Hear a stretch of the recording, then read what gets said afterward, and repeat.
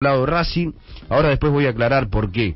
Eh, por el lado de River, porque ayer se vio que Germán Lux con Martín de Michelis eh, no se lleva para nada bien. Ayer eh, Germán Lux no participó de la conversación a la hora de hacer los cambios.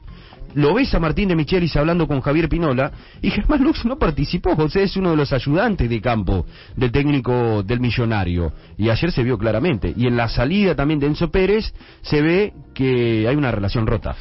Sí, a ver, creo que, que después se puso a saludar a todos los futbolistas, tampoco es que tuvo una recepción de todos ellos eh, muy cálida, que digamos. Eh, obviamente busca mantener las formas el entrenador de River, que es algo lógico.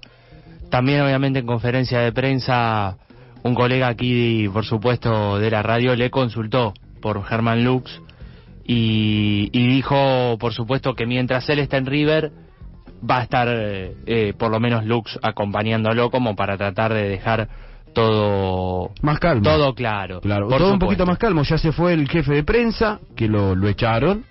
Eh, bueno ya se dio la luz todo lo que había pasado dentro del plantel. Y ahora no podés echar a Germán Lux decirle che bueno Germán Lux no seguí porque bueno ya le estarías dando mucho que hablar a la prensa eh, pero bueno. Y, por último, para mí, de Michelis pisó el palito con lo de Borja, porque le preguntaron y le consultaron por el Borja, porque le preguntaron y le consultaron por el abrazo y dijo, el abrazo demuestra que no, que no había pasado nada. Cuando vos tenés que aclarar que no pasa nada, con, con un jugador es porque pasó algo, justamente. obviamente. Lo noté como todo un poco forzado, Se ¿no? vendió un poquito de humo, creo. Sí, y creo que ese sí. mensaje lo bajó la gente arriba. Obviamente que el presidente eh, Jorge Brito. Un mensaje como para calmar las aguas, para que no se salga a hablar tanto y para que se hable de lo que estamos hablando. Bueno, nosotros estamos hablando la realidad, estamos diciendo lo que es. Que esto es humo, esto no es algo real porque si hace una semana atrás estábamos diciendo que se rompió el plantel y ahora hay un abrazo, hay cosas que, que se quieren maquillar tal vez con un resultado y, y, y, ni siquiera se puede maquillar con un resultado porque River no jugó bien. En el primer tiempo jugó bien, pero en el segundo tiempo Arsenal se vino con todo y es como dijo Alan, en un momento hasta eh, tuvo posibilidades de empatar el partido, ¿no? Y bueno, Armani que fue cómplice por su bajo nivel futbolístico.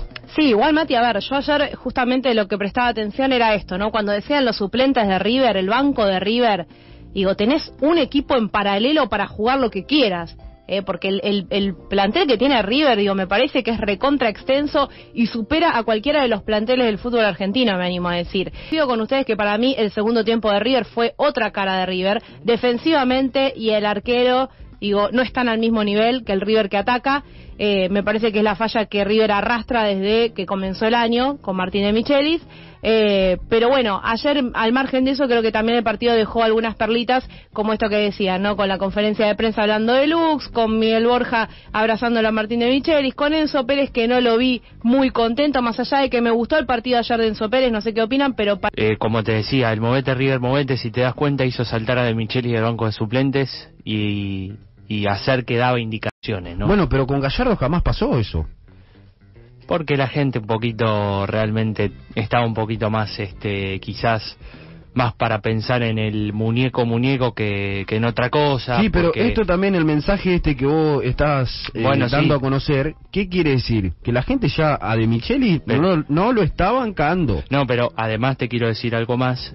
Esto si era en cancha de Arsenal, el partido era en cancha de Arsenal, lo empataba Arsenal, porque no hay gente de River.